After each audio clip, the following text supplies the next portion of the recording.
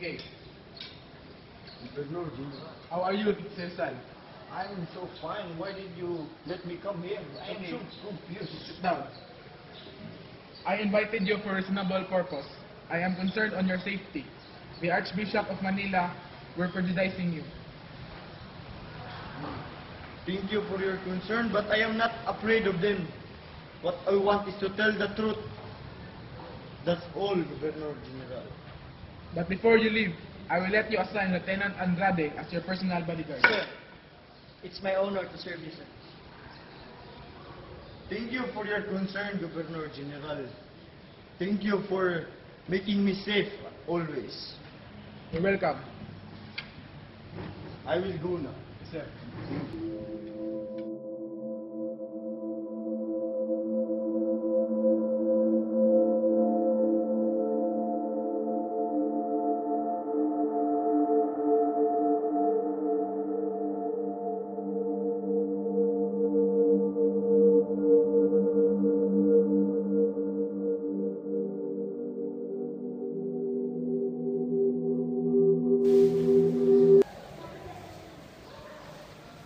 Going to defeat the Spaniards and save Jose Rizal. Mabuhay ang Katipunan! Mabuhay si Jose Rizal! Wait, please calm down, please calm down. The security over my brother is heavy. The Spaniards are prepared to save my brother. And so are we. We will fight until the end.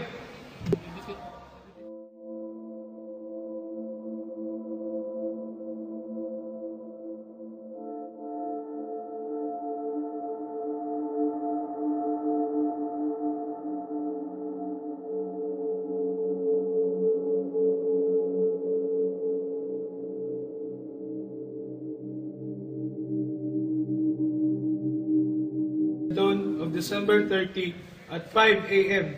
He was served the three soft-boiled eggs for breakfast and exclaimed, Istro para los pobres, natos que ilos ambian naga sofista.